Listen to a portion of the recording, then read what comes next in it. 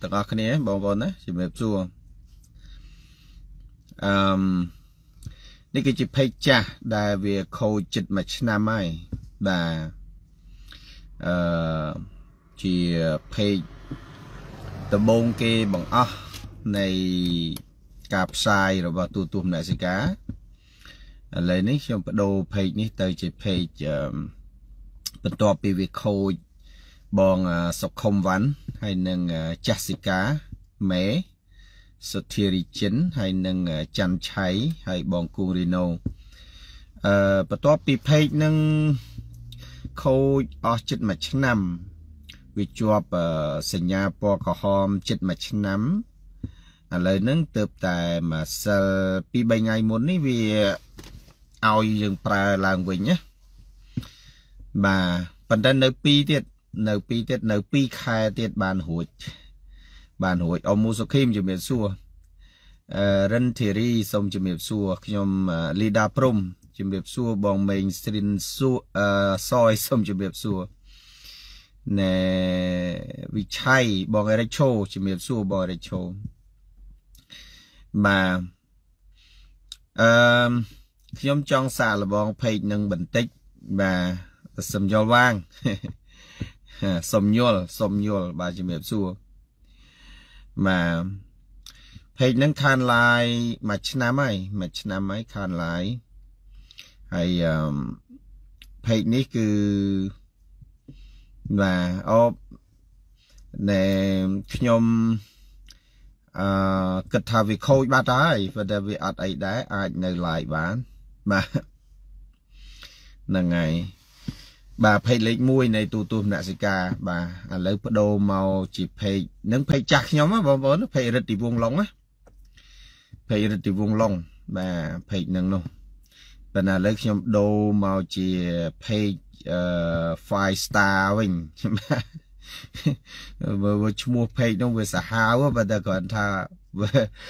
គាត់ថាដាក់ដើម្បីបដូរកុំឲ្យវាជាប់បំរាមពេកកាលពីមុននោះណា ខ្ញុំបដូរឈ្មោះទូទួមអ្នកសិកាចេញទៅខ្ញុំដាក់ឈ្មោះនឹងសិនទៅបាទតម្រាំបើវាឲ្យប្រើវិញបងធីរ៉ាវិសុទ្ធបងប្អូនជំរាបសួរទាំងអស់គ្នាបាទសុខសប្បាយទាំងអស់គ្នា បងចិន្តាលោកពូចិន្តាហើយអ្នកទាំងអស់គ្នាសុខសប្បាយទាំងអស់គ្នាខ្ញុំនៅកន្លែងធ្វើការប៉ុន្តែអត់ទាន់អឺចូលកន្លែងធ្វើការនៅឡើយទេបាទ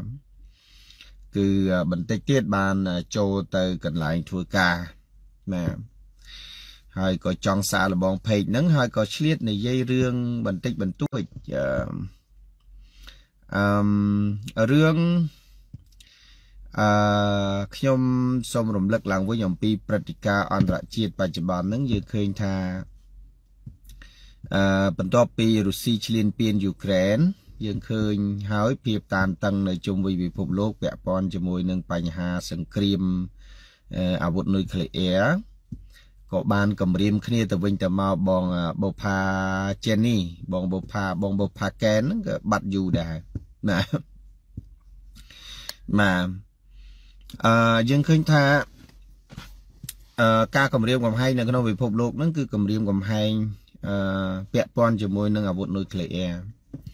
ហើយខ្ញុំចង់រំលឹកបងប្អូន កាលពីសង្គ្រាមលោកលើកទី2 កាលពីសង្គ្រាមលោកលើកទី2គឺបង្កហេតុដោយប្រទេស3សំខាន់សំខាន់បាទទី1គឺប្រទេសអាល្លឺម៉ង់ដែលដឹកនាំដោយអ៊ីតលីហើយទី2គឺប្រទេសអឺណែអ៊ីតាលីអឺដែលដឹកនាំដោយលោកអឺអឺកាសែនសារមនីអញ្ចឹងណា ខ្ញុំអានឈ្មោះគាត់ត្រូវមិនត្រូវមិនដឹងទេណាបាទហើយអឺបន្តមកទៀតគឺនៅអាស៊ីយើងគឺជប៉ុនអធិរាជជប៉ុនខ្ញុំភ្លេចឈ្មោះអធិរាជជប៉ុននឹងហើយអញ្ចឹងទាំង3ប្រទេសហ្នឹងគឺជា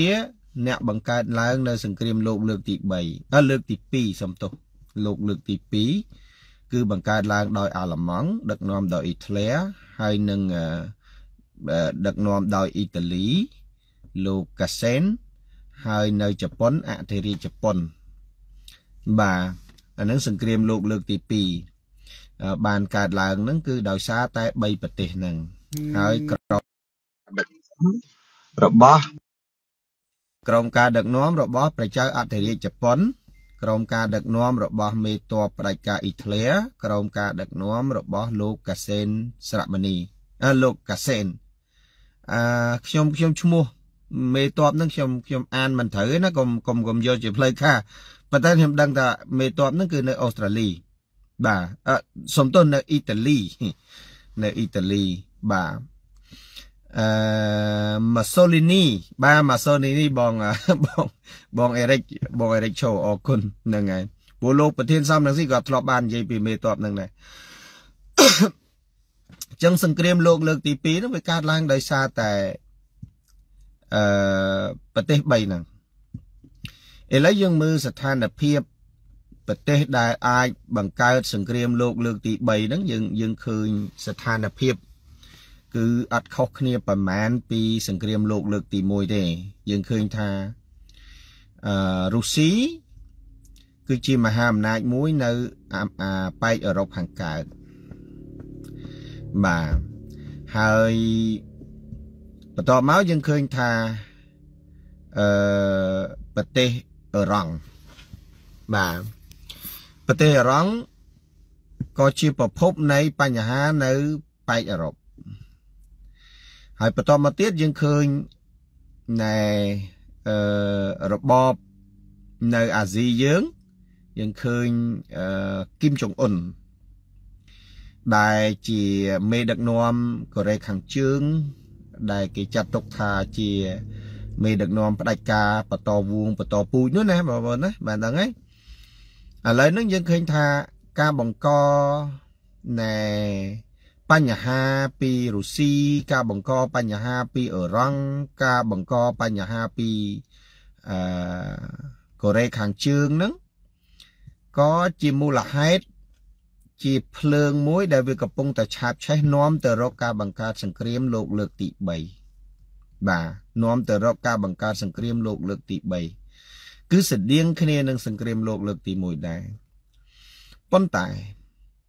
ប្រសិនបើមានសង្គ្រាមលោកលើកទី3កើតឡើងមែន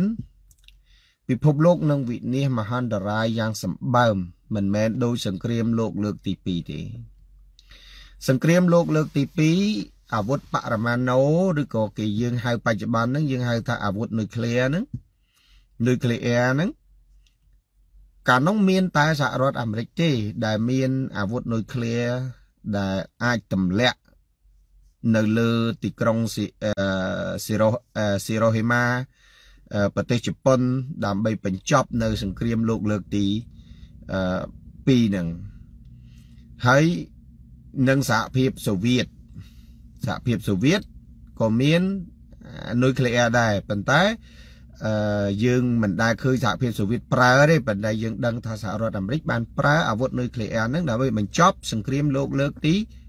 2បាទបន្ទាប់ពីអាល្លឺម៉ង់ចាញ់សង្គ្រាមអ៊ីតាលីក៏ចាញ់សង្គ្រាមអឺជប៉ុនក៏ចាញ់សង្គ្រាមលោកលើកទី2ហ្នឹងយើងឃើញថាពិភពលោកក៏បានស្ងប់ស្ងាត់ដោយសារតែអាវុធនុយក្លេអ៊ែរ ដែលសហរដ្ឋអាមេរិកបានទម្លាក់ពីរគ្រាប់បាទប៉ុន្តែបច្ចុប្បន្ននេះបើសិនណាជាមានសង្គ្រាមលោកលើកទី3កើតឡើងមែនវាមិនមែនអឺមហន្តរាយតិចតួចទេ វាគឺជាមហាមហន្តរាយបាទទាំងគេទាំងខ្ញុំទាំងបងប្អូនទៅទៀតទៅទៀតហ្នឹងគឺសិតតែប្រឈមជាមួយនឹងបញ្ហាសង្គ្រាមអាវុធនុយក្លេអ៊ែរហ្នឹង អឺនិយាយដូច្នេះយើងមិនមិនមិនមិននិយាយដើម្បីបំភ័យការយល់ឃើញរបស់បងប្អូនទេប៉ុន្តែអឺខ្ញុំបានបញ្ជាក់ឲ្យថាអាវុធនុយក្លេអ៊ែរកាលពីសង្គ្រាមលោកលើកទី2គឺមានតែពីរប្រទេសប៉ុន្តែឥឡូវនេះកូរ៉េខាងជើងក៏មានរុស្ស៊ីក៏មានអើហើយបណ្ដាប្រទេសដែលបង្កសង្គ្រាមនិងឈ្លានពាននឹងសិតតែមានអាវុធនុយក្លេអ៊ែរ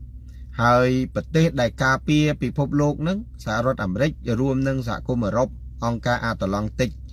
អឺដែលយើងហៅថាអឺណែ NATO ហ្នឹងអង្គការអាតឡង់តិចហ្នឹងក៏មានអាវុធនុយក្លេអ៊ែរប្រសិនណាវាផ្ទុះសង្គ្រាមលោកលើកទី3ដោយអ្វីដែលជាការគិតមែនបច្ចុប្បន្ននេះគឺមហន្តរាយច្រើនជាងកាលពីសម័យ សង្គ្រាមលោកលើកទី2អឺ2ទៅ3ដង អាចលើសពី3ដង ទៅ4ដងទៅទៀតនៃសង្គ្រាមលោកលើកទី2អញ្ចឹងណាចឹងហើយបានជាបញ្ហាវាអឺมันងាយស្រួលប្រហែលទេអានឹងពាក់ព័ន្ធជាមួយនឹងអឺពាក់ព័ន្ធនឹងចំណុចហ្នឹងអឺអឺ ប្រៃវែងសុំសួរសម្ដេចឡុងរឿងមួយកើតនៅ VOA ផ្សាយថានៅអាមេរិកមានបាញ់សម្លាប់មនុស្ស5នាក់ហើយនឹងរបួស18នាក់តើនៅទីណាមូលហេតុអ្វីខ្ញុំអខ្ញុំអត់បានតាមដានទេបងសុំទោសខ្ញុំអត់បានតាមដានទេបងប្រៃវែងខ្ញុំអត់បានតាមដានរឿងនឹងទេហើយអត់បានដឹងទៀតបាទខ្ញុំមួយរយៈហ្នឹងខ្ញុំអត់បានតាមដានព័ត៌មានទេដូច្នេះរឿងហ្នឹងខ្ញុំសុំ អឺសុំអភ័យទោសហើយខ្ញុំអត់បានដឹងថាតើអឺវាកើតឡើងនៅប្រទេសណាទេចាំមើលបន្ទាប់ពីចប់នឹងទៅខ្ញុំមានពេលទំនេរចាំខ្ញុំអឺតាមដានមើលបាទតាមដានមើលតទៅទៀតបាទបើសង្គ្រាមលោកលើកទី3ឡើងមែនខ្មែរយើងនឹងរួចផុតពីអាណានិគមយួនមិនប្រកាសទេ បាទមិនប្រកាសទេម៉េងកំឆេង មិនប្រកាសទេមិនប្រកាសថា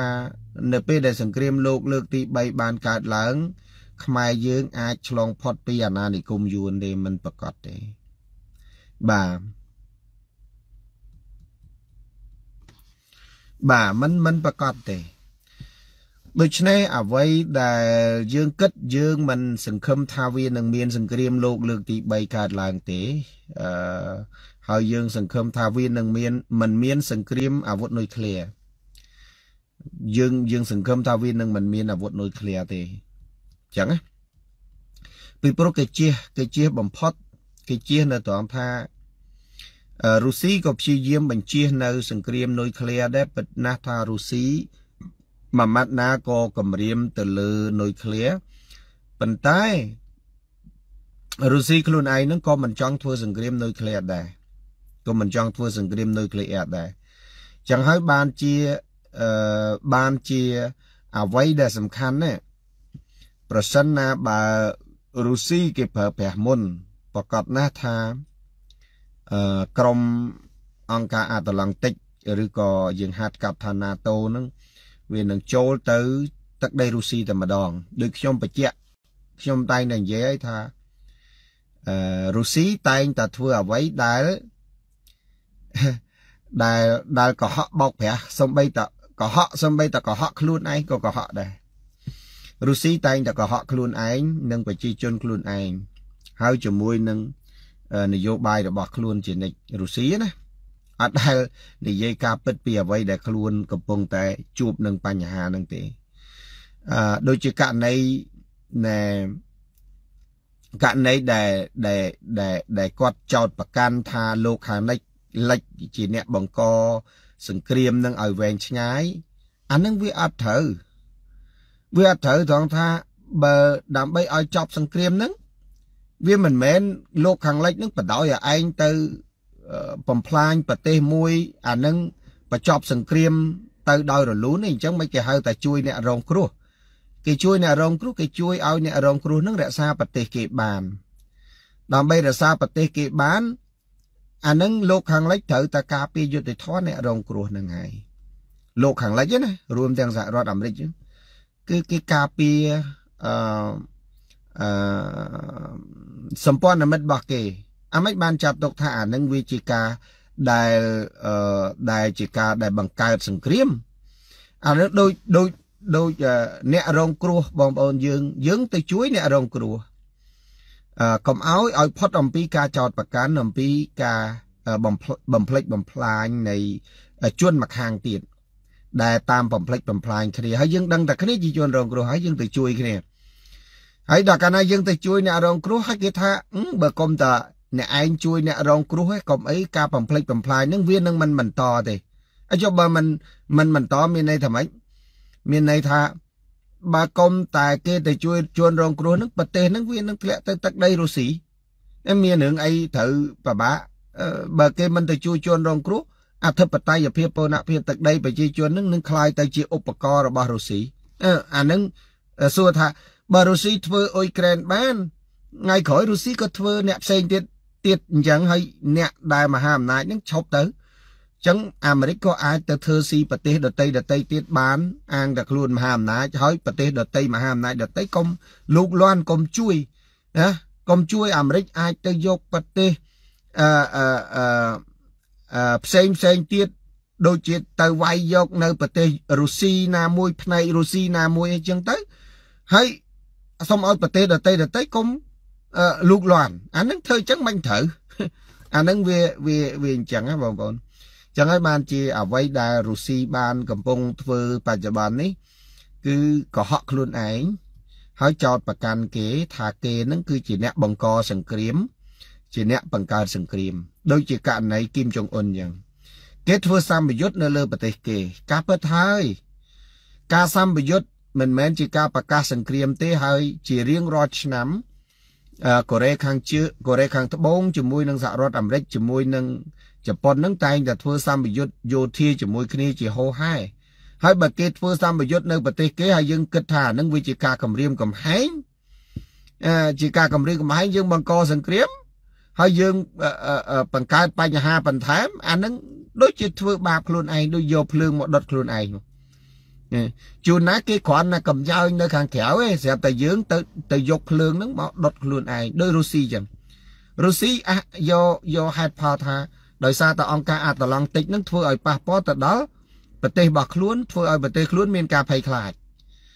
ឡូវភ័យខ្លាចថាអ៊ុយក្រែនហ្នឹងនឹងខ្លាយទៅជាផ្នែកមួយនៃអង្គការអាតឡង់តិចចឹងហើយបានជាយកលេសហ្នឹងមកចូលវាយអ៊ុយក្រែនកុំឲ្យអ៊ុយក្រែនហ្នឹងចូលជាមួយនឹងអង្គការអាតឡង់តិចហ្នឹង ដោយសារតែមូលហេតុថាកុំឲ្យប្រទេសជិតខាងហ្នឹងកុំឲ្យអង្គការអាតឡង់តិចហ្នឹងពង្រីកឥទ្ធិពលអនុត្តរភាពនៅលើអឺរ៉ុបនឹងដែលធ្វើឲ្យប៉ះពាល់ទៅដល់សក្តានុពលភាពរបស់ប្រទេសរុស្ស៊ីប៉ុន្តែ ពីមុនមករុស្ស៊ីមិនក៏មិនធ្វើអញ្ចឹងបងប្អូនមានដឹងទេព្រោះផ្នែកមួយនៃរដ្ឋដតីដតីជាច្រើន ដែលជាសមាជិករបស់អង្គការអាតឡង់តិចដែលបានចូលជាមួយនឹងអង្គការអាតឡង់តិចនឹងគឺចូលយូរហើយ ដូចជាបែកខាងកើតនៃរុស្ស៊ីបែកខាងត្បូងបែកខាងជើងនៃរុស្ស៊ីសិតតែអឺប្រទេសមួយចំនួនហ្នឹងសិតតែជាអតីតសហភាពសូវៀតហើយប្រទេសមួយចំនួនហ្នឹងបានចូលជា សមាជិករបស់អង្គការអាតឡង់តិចរួចជាស្រេចឃើញទេអាម៉េចក៏មិនអាម៉េចក៏មិនខ្លាចហើយអង្គការអាតឡង់តិចនឹងបង្កើតឡើងយូរដែរហើយមិនក៏មិនខ្លាចប៉ុន្តែអ្វីដែលពូទីនបាននឹងកំពុងធ្វើហ្នឹងដូចជាកំពុងតែបំផ្លាញខ្លួនឯងតាមរយៈ តាមរយៈនៃការដែលអង្គការអាតឡង់តិចមិនទាន់ចូលជ្រៅជាមួយនឹងជុំវិញប្រទេសហ្នឹងឥឡូវរហូតដល់អង្គការអាតឡង់តិចហ្នឹងបង្កើតអឺមូលដ្ឋានទាត់ជុំវិញប្រទេសរុស្ស៊ីបាត់ឃើញទេដូចដែលខ្ញុំបាននិយាយពីការចាប់ផ្ដើមនៃសង្គ្រាមដំបូងខ្ញុំបាននិយាយថាអានេះគឺឆោតល្ងងកំពុងតែខ្លាចគេចូលទៅគៀកខ្លួនប៉ុន្តែខ្លួនបង្កសង្គ្រាមធ្វើឲ្យគេកាន់តែចូលទៅគៀកខ្លួន ឥឡូវបងប្អូនថាមើលមើលអានឹងវាជាភាពល្ងងខ្លាំងឬក៏យ៉ាងម៉េចយើងខ្លាចអំណាចអង្គការអាតឡង់តិចចូលទៅក្បែរយើងអត់ចរចាដោយសន្តិវិធីអឺទេយើងបែរទៅជាបង្កសង្គ្រាមនៅប្រទេសភូមិផងរបងជាមួយគ្នាហើយមកឈ្លានពានទឹកដីគេមកកាត់យកទឹកដីគេ ហើយបន្ទាប់មកទៀតថាដើម្បីការពារយក ដើម្បីការពារកុំឲ្យអឺកុំឲ្យណែយោធាអាតឡង់តិចហ្នឹង ចូលមកជ្រៅពេកធ្វើឲ្យប៉ះពាល់ដល់កិត្តិយសចូលមកវាយទឹកដីគេហើយធ្វើប្រជាមតិយកទឹកដីគេឃើញមានទិសដៅកម្មវត្ថុមិនមែនឲ្យអង្គការអតឡង់តិចដកថយណាអត់ទេបើថាវាយអ៊ុយក្រែនហើយដើម្បីទាញឲ្យអង្គការអតឡង់តិចដកថយកុំឲ្យចូលមកជាជាការចរចាគ្នាដើម្បីដោះស្រាយថាបើសិនណាជាអង្គការតឡង់តិចលុបចោលនៅការដែលបង្កើតអីមូលដ្ឋានអីជុំវិញនៅរុស្ស៊ីហ្នឹងអានឹង រុស្ស៊ីនឹងដកចេញប៉ុន្តែអានោះវាអត់ចឹងទេវាយគេឲ្យធ្វើប្រជាមតិដើម្បីធ្វើប្រជាមតិដើម្បីយកធ្វើប្រជាមតិដើម្បីយកណែយកអាណាខេត្តរបស់គេហ៎យកអាណាខេត្តរបស់